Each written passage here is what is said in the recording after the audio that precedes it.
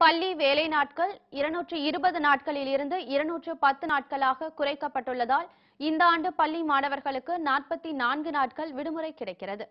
மேலும் ஏப்ரல் இருபத்தி ஒன்றாம் தேதிக்கு பிறகு விடுமுறை அளிக்கவும் உத்தரவிடப்பட்டுள்ளது. தமிழகத்தில் உள்ள அனைத்து பள்ளிகளிலும் ஏப்ரல் இருபதுக்குள் தேர்வுகளை முடிக்க உத்தரவிடப்பட்டுள்ளது. இதனால் கோடை விடுமுறை நாற்பத்தி நான்கு நாட்களாக நீட்டிக்கப்படுகிறது. தமிழகத்தில் பிளஸ் டூ பொதுத் தேர்வு மார்ச் ஒன்னில் துவங்கி ஏப்ரல் ஆறாம் தேதி வரை நடைபெறுகிறது.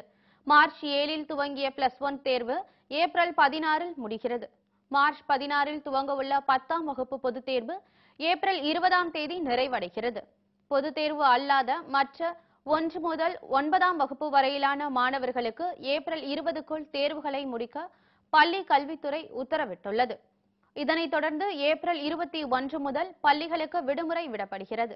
அடுத்த கல்வியாண்டு ஜூன் ஒன்றாம் தேதி தொடங்கலாம் என்றும் கூறப்படுகிறது. எனினும் அன்று வார இறுதி நாளாக இருப்பதால் சனி ஞாயிறு சேர்த்து கோடை விடுமுறையை ஜூன் மூன்று வரை நீட்டிக்க அதிகாரிகள் ஆலோசித்து வருகின்றனர். அமைச்சர் செங்கோட்டையன் அனுமதி அளித்ததும் முறையான அறிவிப்பு வெளியிடப்படும் என எதிர்பார்க்கப்படுகிறது.